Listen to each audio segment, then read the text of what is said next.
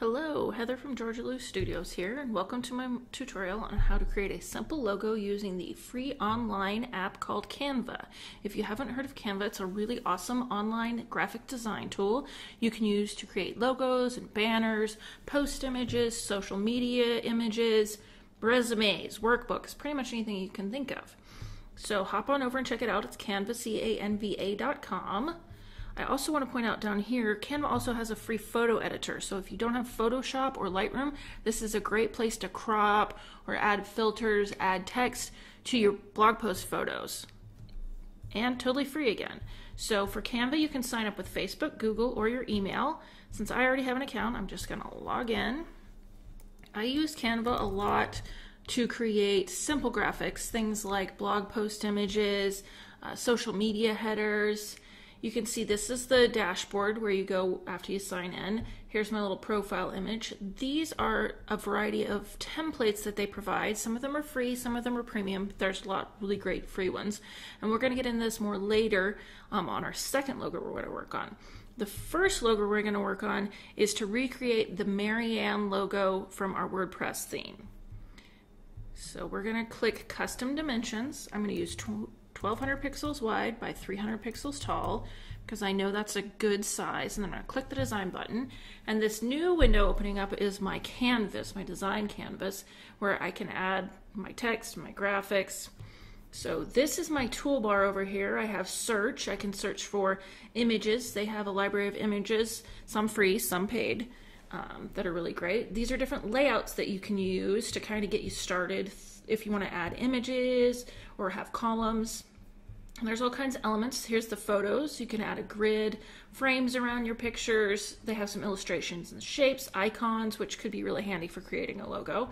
Today we're just going to create a simple text logo, so I'm going to the text window. Now these are how you add your different kinds of text. There's a heading, a subheading, and a body, and you just click on it and it'll drop it right in, and we'll do that in just a second. They also have some nice layouts down here that actually might work as great logos for your site if you customize them to match your site. Today we know exactly what we're going to design though, so I'm going to drop in this heading. And now this toolbar up here is for editing your text. This is the font family. This is the font size, color, bold or italics, centering your font. This will make it all caps. If you want to add bullets and text spacing, so the spacing in between the letters. Right now, my text is in Abril font face, or fat face, which I don't want. The logo for Marianne is in a Google font called Playfair Display.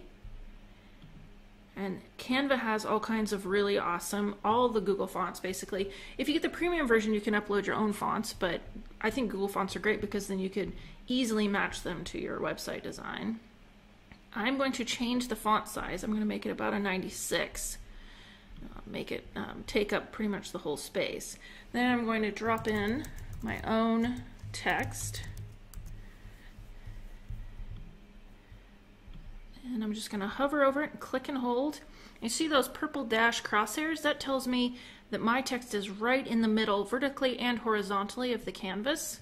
We're going to want to change that a little later because I'm going to add a subheading. So I'm just going to click on add subheading and it's going to drop it in. Sometimes when your elements overlap, you have to move one to grab the other one. So I'm going to add in my subheading. This is not the font I want. So I'm going to switch it out, just highlight it and select my Montserrat font, which is one of my all-time favorite fonts. It's just a beautiful font. And I'm going to type in my tagline. Now this is just too big for me. It's too big, so I'm going to make it a little bit smaller. And I also want to space out these letters a little bit. They're a little crowded, so I'm going to click on text spacing so I can change letter spacing, which is the space between the letters, and then line height is the height between the lines. So if you're using a couple lines, you may want to increase or decrease that line height to make it look a little better. So I'm going to space it out just a little bit, give it a better look.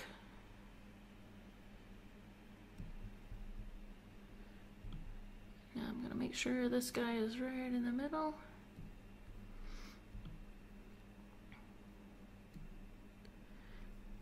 there I have a really simple, took me like a minute, two minutes to recreate that logo. Really professional, gorgeous looking logo. Free. So all you need to do is download it. I would recommend using PNG. Unfortunately, Canva doesn't allow you to do a transparent background, which is really unfortunate um, unless you have the premium.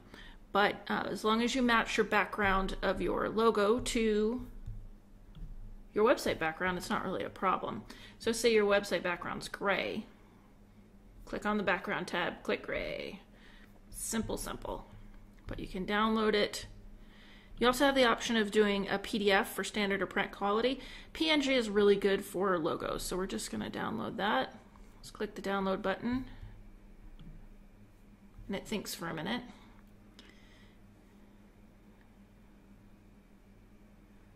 You can also share it by tweeting about it. I don't know why you'd want to do that, but you might. So there we've recreated one logo. So I'm going to close out of this. If you're worried about saving your latest changes, you can click that save again. It saves automatically, periodically, so not a big deal. So now we're going to create a design from one of the pre-existing free templates. So these are just some examples.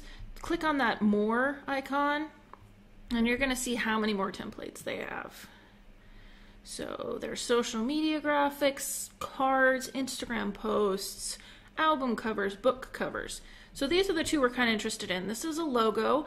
That would actually work really great for like an alternate logo, those square little logos you might want to create. Here's a blog title. That's a little small for me. It's a little narrow. So I'm actually going to go with the Etsy cover photo. And it's um, 1200 by 300, which is the size I just used for my other one and it's going to open up a new canvas.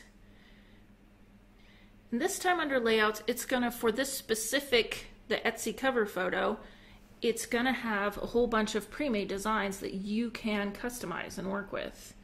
And there's some really great designs.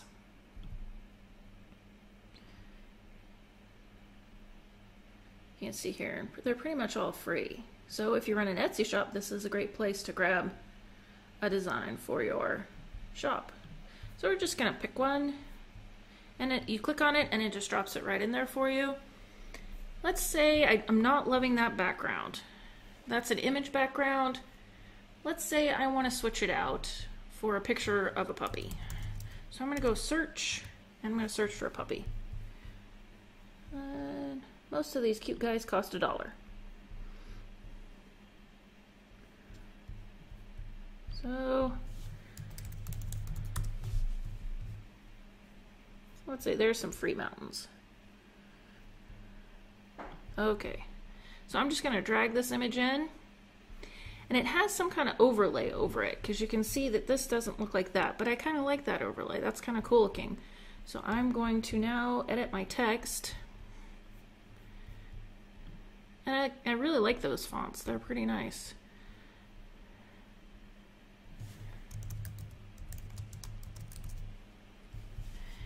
Oh, I edited my main heading.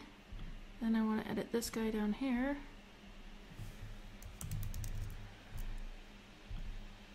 And let's make that all uppercase. Now I need to adjust it just a little bit to maybe get it aligned. Yeah, I don't think I like it on the end there. Let's try it like right there. But you see how you can play around with these pre-made designs and this would look really great as a email header or a blog header. You could remove the background, just turn the text black and have a really basic header. Again, there's these really cool pre-made designs.